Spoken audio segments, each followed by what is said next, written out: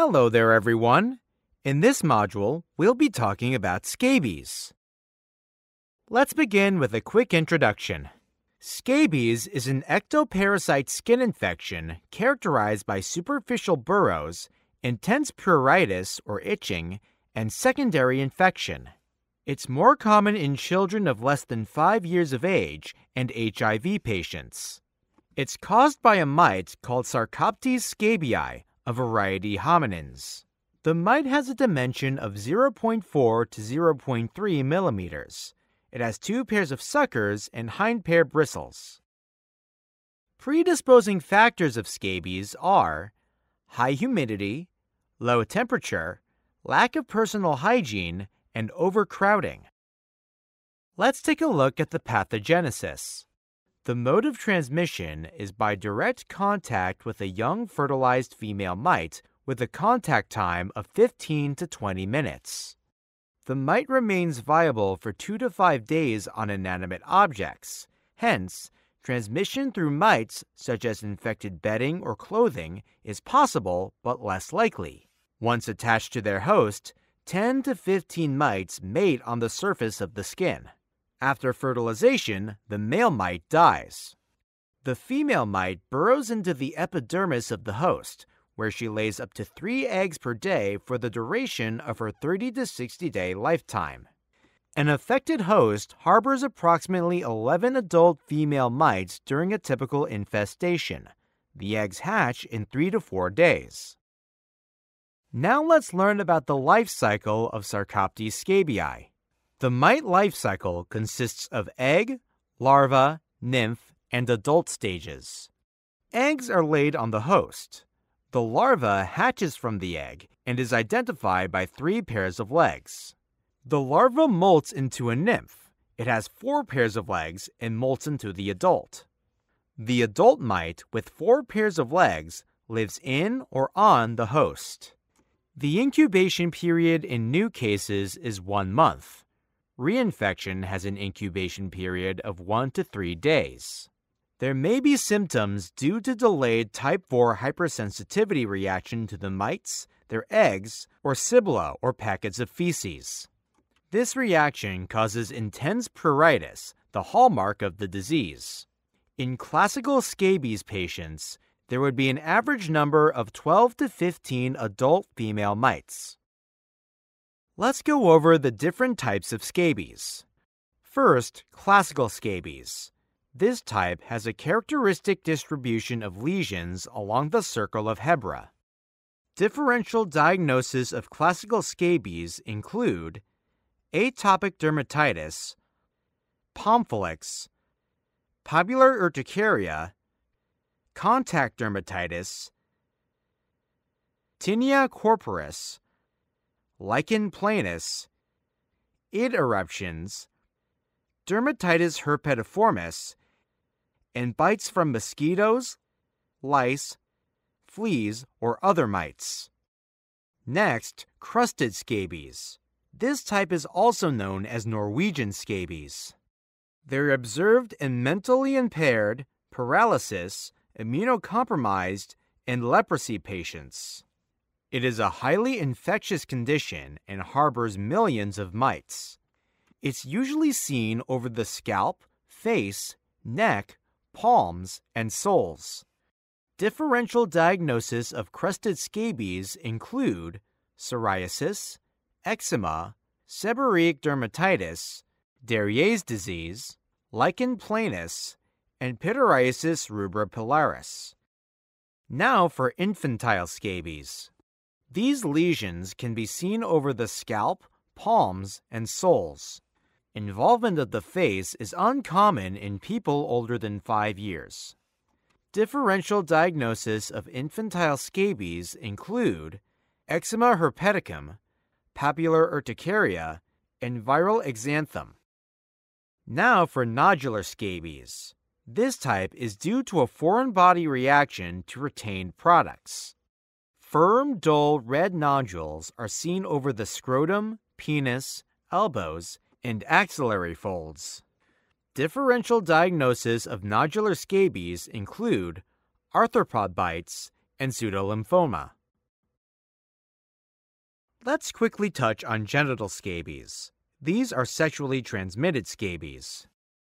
The last type is animal transmitted scabies. These are transmitted from dogs, are called pseudoscabies, and have no burrows. These lesions are usually seen on the forearm, lower chest, abdomen, and thighs. Now let's talk about the clinical features. First, the symptoms.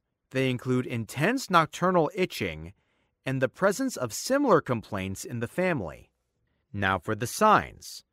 Primary skin lesions are manifested as papules and vesicles. Now let's talk about the burrow.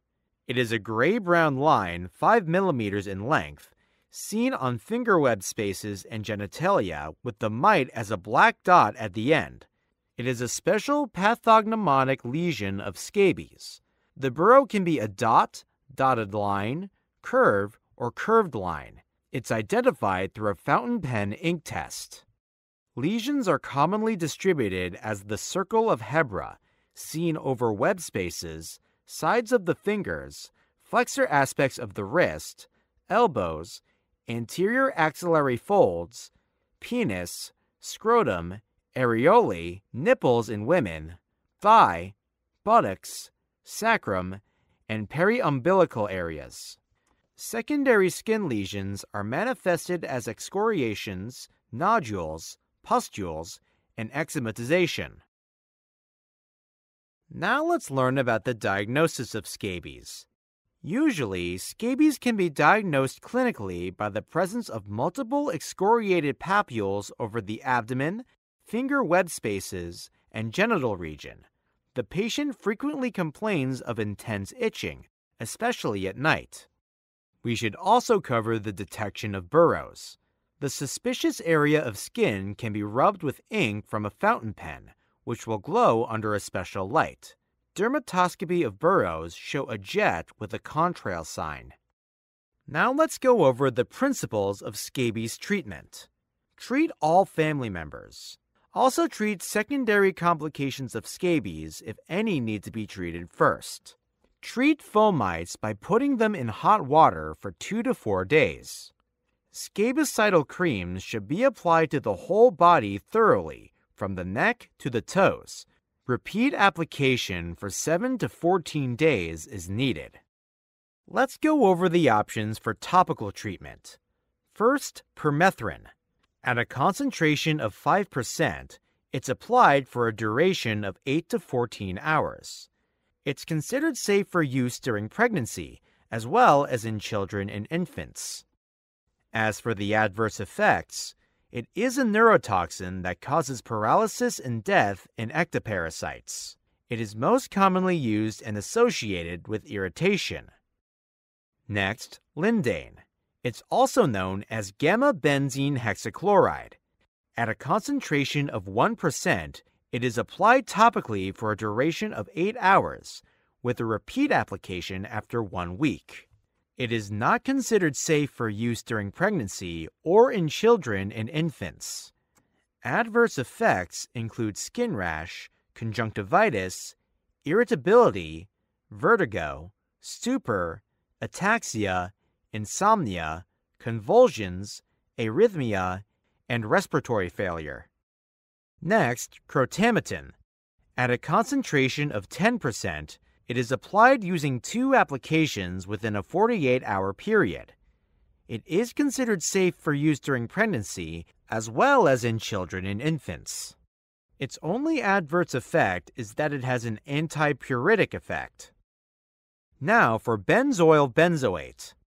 At concentrations ranging from 10 to 25 percent, it is typically applied for three consecutive nights. It's considered safe for use during pregnancy. It is safe for children, but is not recommended for use in infants. Its adverse effect is that it's an irritant. Next, precipitated sulfur. At concentrations ranging from 3 to 6%, it's typically applied for three consecutive nights. It is considered safe for use during pregnancy, lactation, as well as in children. Lastly, malathion. Available at a concentration of 5%, It's typically applied for a duration of 8 to 14 hours. It's considered safe for use during pregnancy. However, it is not considered safe for children and infants. Malathion can be particularly useful in the control of epidemics within institutions. Now let's cover oral treatment. The main medication of choice for oral treatment is ivermectin. It acts by interrupting glutamate and aminobutyric acid induced neurotransmission in parasites, causing paralysis and death. A single dose is 200 micrograms per kilogram. It's associated with a 56% cure rate. With repeat application for 14 days, it later has a 96% cure rate. Ivermectin should be avoided in pregnancy in children of less than 5 years of age. The adverse effects include fever, pruritus, dizziness, edema, and postural hypotension. Moreover, toxic effects include mydriasis, somnolence, reduced motor activity, tremors, and ataxia.